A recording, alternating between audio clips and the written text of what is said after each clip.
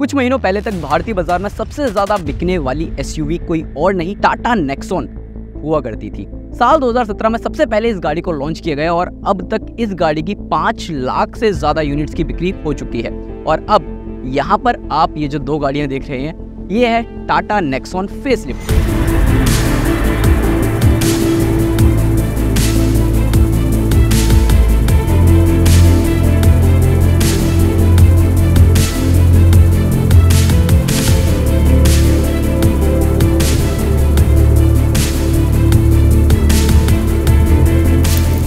Platform पुराना वाला ही है।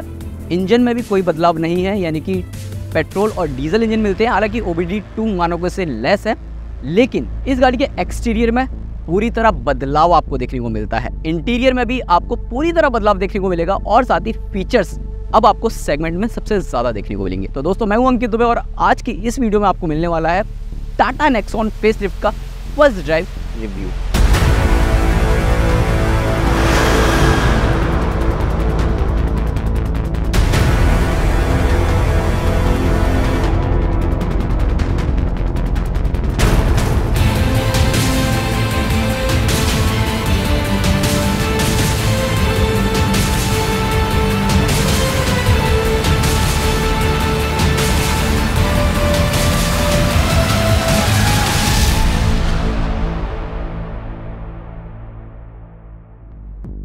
साल 2017 में जब सबसे पहले टाटा नेक्सॉन को लॉन्च किया गया था ना, उस समय भी इस गाड़ी का डिज़ाइन लोगों को काफ़ी ज़्यादा पसंद आ रहा था। और साल 2023 के लिए तो नेक्सॉन फेसलिफ्ट में आपको फ्यूचरिस्टिक डिज़ाइन देखने को मिल जाता है। फ्रंट प्रोफ़ाइल नो डाउट काफ़ी ज़्यादा आपको बढ़िया नज़र आएगी और इसके जो डी है, वो आपको टाटा कर्व कॉन्सेप्ट मॉडल से मिलते जुलते देखने को मिलते हैं। बाकी headlight fog light front grille no doubt इस गाड़ी के फ्रंट प्रोफ़ाइल को काफ़ी ज़्यादा इनहेंस करती हुई नज़र आती है। साइड प्रोफ़ाइल में अगर आप जाते हैं तो 16 इंच की जो एलॉय व्हील्स का डिज़ाइन है, वो वाकई काफ़ी ज़्यादा पसंद आएगा। बॉडी कलर डोर हैंडल्स मिल जाते हैं और डोल टोन कलर आपको देखने को मिल जाता है और आप यहाँ पर जो बॉडी कलर आप देख रहे हैं रेड और ये पर्पल ये वाकई काफ़ी ज़्यादा पसंद आएँगे और ये तो नया कलर है और रोड पर चलते हुए ना लोग इस कलर को मुड़ मुड़ कर देख रहे थे। बाकी रियर प्रोफ़ाइल अगर आप देखते हैं तो वहाँ पर भी जो टेल लाइट दी गई है, वाकई नई दी गई है और रात के समय तो काफ़ी ज़्यादा सुंदर नज़र आती है। ओवरऑल यही सारी चीज़ें थी जो कि इस गाड़ी के लुक्स और डिज़ाइन में देखने को मिलती है। हालाँकि कंपनी को फिट एंड फिनिश में अभी भी थोड़ा सा ध्यान देना चाहिए था। कुछ चीज़ें ऐसी हैं जो कि आपको हल्का फुल्का निराश कर सकती हैं अगर आप फिट एंड फिनिश देखते हैं। अब टाटा नेक्सॉन फेसलिफ्ट के इंटीरियर में अगर आप आओगे ना तो वाकई ये जो इंटीरियर है ना, इसने इस सेगमेंट की सारी गाड़ियों को फेल कर दिया है। इस लेवल का आपको इंटीरियर मिलता है, इतना ज़्यादा फ्यूचरिस्टिक आपको इंटीरियर मिल जाता है और पर्पल कलर है तो देखो, ये टॉप मॉडल है पर्पल कलर है तो ऐसे में जो इंटीरियर है, वहाँ पर भी आपको पर्पल और ब्लैक की थीम देखने को मिल जाती है। हालाँकि जो डीजल वाला वेरिएंट है, उसमें आपको ऑल ब्लैक इंटीरियर देखने को मिलता है, लेकिन ये वाला जो इंटीरियर है, ये वाकई आपको काफ़ी ज़्यादा पसंद आने वाला है। डैशबोर्ड पर अगर आप देखते हो तो हर जगह हार्ड प्लास्टिक का इस्तेमाल हुआ है, लेकिन जहाँ पर भी आप टच करोगे, जो टेक्सचर्स आपको देखने को मिलता है बहुत ज़्यादा पसंद आएगा। 10.25 इंच की दो स्क्रीन है, एक इन्फोटेनमेंट सिस्टम है और 10.25 इंच का यहाँ पर इंस्ट्रूमेंट क्लस्टर है। इन्फोटेनमेंट सिस्टम आपको वाकई काफ़ी ज़्यादा बढ़िया मिल जाता है। अभी तक टाटा की किसी गाड़ी में इस तरीके से इन्फोटेनमेंट सिस्टम देखने को नहीं मिल रहा था। हालाँकि जो डार्क रेड एडिशन है, वहाँ पर आपको भले ही सेम ऐसा ही मिल रहा हो, लेकिन इसमें बहुत सारे फीचर्स आपको देखने को मिल जाते हैं। Wireless Apple CarPlay Android Auto मिल जाता है। सबसे मेन चीज़ इस गाड़ी में आपको 360 डिग्री पार्किंग कैमरा देखने को मिल जाता है, जिसमें काफ़ी अच्छे ग्राफिक्स मिल जाते हैं 2D और 3D में, और फ्रंट पार्किंग सेंसर्स भी है रियर पार्किंग सेंसर्स भी है। इसके अलावा इस गाड़ी में आपको एयर प्योरीफायर देखने को मिल जाता है, और भी बहुत सारी चीज़ें हैं जो कि आपको इस गाड़ी में देखने को मिलती है। मतलब आप ये समझो कि नौ स्पीकर्स मिलते हैं आपको इसमें JBL का साउंड सिस्टम मिलता है, और उसके साउंड आउटपुट को और ज़्यादा बेहतर बनाने के लिए इसमें कुछ मोड्स भी दिए गए हैं। इसके अलावा, अगर आप नीचे की तरफ़ आते हैं तो यहाँ पर ये जो कंट्रोल्स वगैरह देख रहे हैं एसी वगैरह के, हालाँकि एसी आप इन्फोटेनमेंट सिस्टम से भी कंट्रोल कर सकते हैं और नीचे से भी कंट्रोल कर सकते हैं। यहाँ पर जितने भी बटन्स हैं, ये टच बटन के साथ आते हैं, यानी कि आप टच करोगे और ये काम करना शुरू कर देंगे। बहुत ही ज़्यादा ज़बरदस्त नज़र आ रहे हैं। इसके अलावा आपको यहाँ पर थोड़ा बहुत स्पेस मिल जाता है ट्वेल्व वोल्ट का एक सॉकेट एक टाइप ए यूएसबी पोर्ट एक टाइप सी यूएसबी पोर्ट हालाँकि अगर आप यूएसबी पोर्ट में यूएसबी केबल लगाने की कोशिश करते हैं ना तो वहाँ पर थोड़ी सी फाइट करनी होती है, क्योंकि उतना ज़्यादा स्पेस नहीं है। अब देखो मेरे हाथ इतने बड़े तो है नहीं, लेकिन फिर भी यहाँ पर घुसने में दिक्कत दे रहे थे जब मैं इस गाड़ी में यूएसबी केबल लगा रहा था। बाकी यहाँ पर आप देखो, यहाँ पर ड्राइविंग मोड्स का ये कंट्रोलर दिया गया है रोटरी नॉब है, इसमें सिटी इको स्पोर्ट ये तीन ड्राइव मोड्स मिल जाते हैं वायरलेस चार्जर सीटें जो है वो वेंटिलेटेड फ़ंक्शन के साथ आती हैं और सीटों में आपको अच्छा खासा कंफर्ट भी देखने को मिल जाता है। लेदरेट सीटें हैं, काफ़ी बढ़िया आपको ये आराम पहुंचाती हुई नज़र आती हैं। इंस्ट्रूमेंट क्लस्टर की बात करें तो इंस्ट्रूमेंट क्लस्टर जो है, वहाँ पर आपको तमाम जानकारी मिल जाती है टायर प्रेशर मॉनिटरिंग सिस्टम से रिलेटेड सबसे खास बात यह है कि इसमें आप एप्पल मैप चला सकते हैं, वही सेम एप्पल मैप आप इंस्ट्रूमेंट क्लस्टर में भी चला सकते हैं। यानी कि दो दो जगह मैप चल जाएगा और काफ़ी बढ़िया आपको व्यूइंग एक्सपीरियंस देता हुआ नज़र आता है। स्टीयरिंग व्हील की बात करें तो ये जो स्टीयरिंग व्हील है टाटा कर्व कॉन्सेप्ट की याद दिलाएगा। बीच में यहाँ पर टाटा का illuminated logo piano black finish के साथ और यहाँ पर ये जो कंट्रोलर्स हैं, वाकई बहुत ही ज़बरदस्त नज़र आते हैं। पेडल शिफ्टर्स भी आपको इस गाड़ी में देखने को मिल जाते हैं। और ये डी कट है टू स्पोक स्टीयरिंग व्हील आपको यहाँ पर देखने को मिलता है। बाकी ऊपर की तरफ़ electrochromic I R V M sunroof electric है, बहुत बड़े साइज़ के साथ नहीं आती है, और 200 प्लस वॉइस कमांड फ़ंक्शंस आपको इस गाड़ी में देखने को मिल जाते हैं, और साथ ही कनेक्टेड फीचर्स भी अगर आप देखते हैं तो वो भी आपको इस गाड़ी में देखने को मिल जाते हैं, जो कि आप I R A connected app के ज़रिए कनेक्ट कर सकते हैं। इसके अलावा अगर हम स्टोरेज स्पेस की बात करें तो यहाँ पर सबसे पहले आप आर्मरेस्ट देखो आर्मरेस्ट मिलता है, लेकिन ये स्लाइडिंग फ़ंक्शन के साथ नहीं आता, इसके अंदर काफ़ी अच्छा और डीप स्टोरेज स्पेस देखने को मिल जाता है। ग्लव बॉक्स भी आपको काफ़ी बढ़िया देखने को मिल जाता है। काफ़ी अच्छी खासे स्टोरेज स्पेस के साथ मिलता है और अगर आप दरवाज़ों पर स्टोरेज स्पेस देखते हैं, खासकर फ्रंट दरवाज़ों पर तो वहाँ पर आप एक एक लीटर की पानी की बोतल के अलावा भी काफ़ी सारा सामान रख सकते हैं। अब चलते हैं रेयर सीटों पर और देखते हैं वहाँ पर कंपनी क्या कुछ ऑफ़र कर रही है। अब रेयर सीटों पर आप आते हैं तो यहाँ पर स्पेस और कंफर्ट दोनों की बात करते हैं। तो देखो स्पेस में कोई तब्दीलियाँ नहीं है, क्योंकि डायमेंशन वाइज ये गाड़ी सेम वैसी ही है, जैसे कि आपको पुरानी वाली नेक्सॉन देखने को मिल रही थी। लेकिन अगर आप कंफर्ट वाइज देखते हैं तो सीटों पर जो मटेरियल है, वो मुझे थोड़ा बहुत चेंज नज़र आ रहा है, क्योंकि ये जो लेदर वगैरह है, ये कंपनी ने थोड़ा अलग यूज़ किया है तो इस वजह से ये थोड़ी ज़्यादा कंफर्टेबल नज़र आ रही है। बाकी यहाँ पर तीन लोग इजीली बैठ सकते हैं, और अगर आप देखोगे अंडरनीथ थाई सपोर्ट भी काफ़ी बढ़िया है और बैक एंगल रेस्ट भी आपको अच्छा खासा मिल जाता है। लेग रूम हेड रूम आपको नेक्सॉन में पता ही है। बाकी यहाँ पर आर्मरेस्ट मिल जाता है, दो कप होल्डर्स हालाँकि इनका साइज़ उतना ज़्यादा नहीं है। तीन लोग यहाँ पर बैठते हैं तो तीनों के लिए three point seat belt company offer कर रही है, जो कि अगेन काफ़ी ज़्यादा बढ़िया है। इसके अलावा यहाँ पर एसी वेंट्स मिल जाते हैं type A USB port type C USB port और दरवाजों पर आपको ठीक ठाक स्टोरेज स्पेस देखने को मिल जाता है। स्टोरेज स्पेस की बात कर रहे हैं तो बूट भी अगर आप ओपन करके देखते हैं तो बूट स्पेस भी आपको जिस तरीके से पुरानी नेक्सॉन में साढ़े तीन सौ लीटर का मिल रहा था, उतना अभी भी दिया जा रहा है। बाकी ये जो सीटें हैं बूट स्पेस और ज़्यादा बढ़ाना है तो सिक्सटी फोर्टी में आप इन्हें फोल्ड भी कर सकते हैं।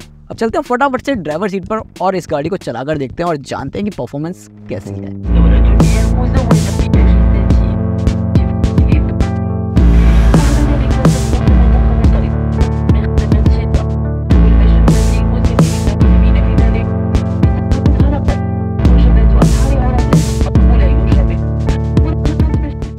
टाटा नेक्सॉन फेसलिफ्ट में आपको दो इंजन दिए जा रहे हैं। एक है पेट्रोल इंजन 1.2 लीटर का थ्री सिलेंडर रेवोट्रॉन इंजन और एक है डीजल इंजन 1.5 लीटर का four cylinder Revotorq engine.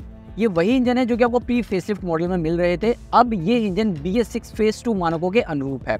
अब इस इंजन के साथ खास बात यह है, पहले पेट्रोल इंजन की बात कर लेते हैं, फ़िलहाल हम वही चला रहे हैं। तो पेट्रोल जो इंजन है, उसमें आपको मल्टीपल ट्रांसमिशन ऑप्शन दिए जा रहे हैं। पहले आपको मैनुअल और ए मिल रहा था, अब आपको मैनुअल ए तो मिल ही रहा है। साथ ही साथ आपको सेवन स्पीड डी या डी ट्रांसमिशन भी इसमें दिया जा रहा है। और जो डीजल इंजन है, जब वो चलाएँगे, उसकी बात तब करेंगे।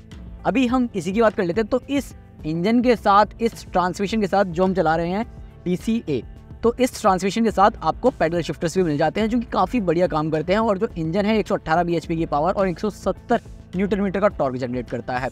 इस इंजन के साथ एक खास बात यह है कि काफ़ी ज़्यादा रिफाइंड है। तीन सिलेंडर होने के बाद भी काफ़ी रिफाइंड है।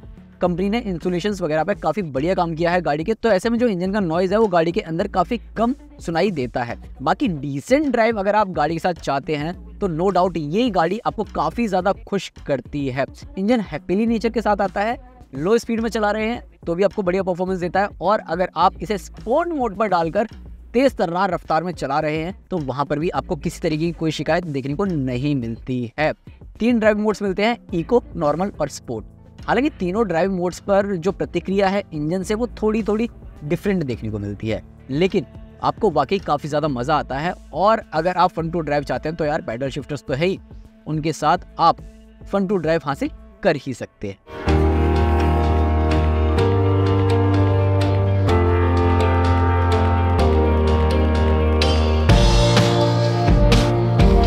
अब हम आ गए हैं टाटा नेक्सॉन फेसलिफ्ट के डीजल वेरिएंट के अंदर। और ये गाड़ी हम चला रहे हैं तो देखो इस गाड़ी में जब हम आए तो भाई आपको सीट वीट एडजस्ट करनी है, वो आप कर सकते हो और अपनी हाइट के हिसाब से अगर आपको स्टीयरिंग भी एडजस्ट करना है तो वो आप कर सकते हो, सिर्फ़ टिल्ट टेलीस्कोपिक नहीं कर सकते, जो कि अगेन एक कह सकते हो माइनस पॉइंट है। हालाँकि सीट हाइट का जो एडजस्टमेंट दिया गया है, उसके चलते आप यहाँ पर जो स्टीयरिंग व्हील है, उसे भी एडजस्ट कर सकते हो अपनी सीट की हाइट को ऊपर या नीचे करके। खैर, ये चीज़ हो गई। अब बात कर लेते हैं इंजन परफॉर्मेंस को लेकर। तो डीजल इंजन है ये। डीजल इंजन जैसे कि पहले बताया था 1.5 लीटर का फोर सिलेंडर इंजन है रिवोट टॉर्क जिसे कंपनी बोलती है। इस इंजन के साथ आपको सिक्स स्पीड मैनुअल ट्रांसमिशन तो मिलता है, साथ ही साथ एएमटी भी दिया जा रहा है। हालाँकि एएमटी हम नहीं चला रहे, हम सिर्फ़ मैनुअल ट्रांसमिशन ही चला रहे हैं। पहले भी ए आता था ऑटोमेटिक ट्रांसमिशन नहीं है, जो कि प्रॉपर टॉर्क कन्वर्टर होता है, वो सिर्फ़ और सिर्फ़ इस सेगमेंट की किया सोनेट में ही देखने को मिलता है। आपको इसमें सिर्फ़ डीजल इंजन के साथ ए ही दिया जा रहा है।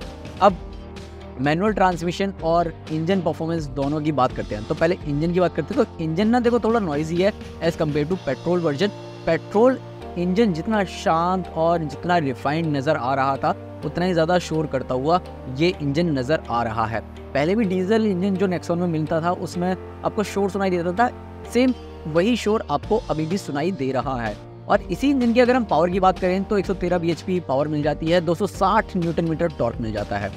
पावर में किसी तरीके की कोई दिक्कत नहीं है, काफ़ी बढ़िया ये इंजन प्रतिक्रिया देता हुआ नज़र आता है, अगर आप हाईवे पर चल रहे होते हैं और तेज़ रफ्तार में गाड़ी भगा रहे होते हैं। इतना ही नहीं, अगर आप इस गाड़ी को लेकर सिटी वगैरह में भी चलाते हैं तो वहाँ पर भी किसी तरह की कोई दिक्कत नहीं होती। माइलेज भी आपको ये इंजन काफ़ी बढ़िया देता हुआ नज़र आता है। अगर आप मैनुअल ट्रांसमिशन वाली गाड़ी लेते हैं तो मैनुअल ट्रांसमिशन में जो ट्रांसमिशन है, वो काफ़ी स्मूथ शिफ्टिंग के साथ आता है। आपको इसमें कोई भी इस तरीके की शिफ्टिंग नहीं मिलती, जिसमें आपको बार बार मतलब अजीब सा फील हो रहा है या ऐसा लग रहा है थोड़ी हार्ड शिफ्टिंग ऐसा कुछ नहीं है। क्लच भी काफ़ी हल्का देखने को मिलता है और उसका ट्रेवल भी काफ़ी कम है।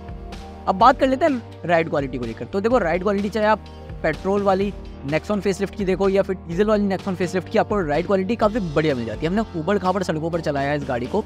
तो वहाँ पर छोटे मोटे गड्ढे इनफैक्ट थोड़े बड़े गड्ढे भी हमारे सामने आ रहे थे तो वहाँ पर उतना ज़्यादा दिक्कत नहीं हो रही थी। हालाँकि थोड़े बड़े गड्ढे अगर आपके सामने आ जाते हैं और तेज़ रफ्तार पे चलाते हो तो वहाँ पर झटका ऑब्वियस ही बात है, उतना तो देती हुई ये नज़र आती है। लेकिन नेक्सॉन की राइड क्वालिटी वाकई काफ़ी ज़्यादा बढ़िया नज़र आती है।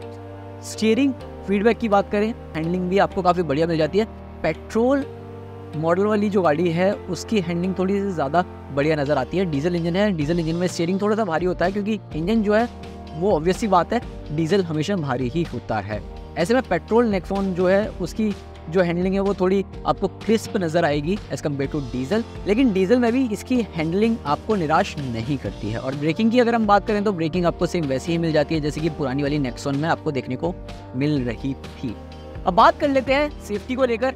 तो जो पुरानी वाली नेक्सॉन थी ना, उसमें आपको five star global NCAP safety rating मिल रही थी। हालाँकि दो एयरबैग्स मिल रहे थे, लेकिन इस गाड़ी का जो बॉडी शेल है, जो स्ट्रक्चर है कंपनी कह रही है मज़बूत है। हालाँकि सेफ्टी रेटिंग नहीं आई है, लेकिन इस गाड़ी में आपको स्टैंडर्ड सिक्स एयरबैग्स दिए जा रहे हैं। समझ रहे हो? बेस मॉडल से ही छः एयरबैग्स और टॉप मॉडल अगर आप लेते हो तो उसमें आपको 360 डिग्री पार्किंग कैमरा तो मिलता है। साथ ही साथ अगर आप लेफ़्ट साइड का इंडिकेटर देते हो तो वो भी आपको कैमरा जो है इसका ऑन हो जाता है। राइट साइड इंडिकेटर देते हो तो राइट साइड का ऑन हो जाता है। यानी कि आपको प्रॉपर जो ब्लाइंड स्पॉट मॉनिटरिंग है, वो देखने को मिल जाती है साइड में अगर आप टर्न ले रहे होते हो विद इंडिकेटर।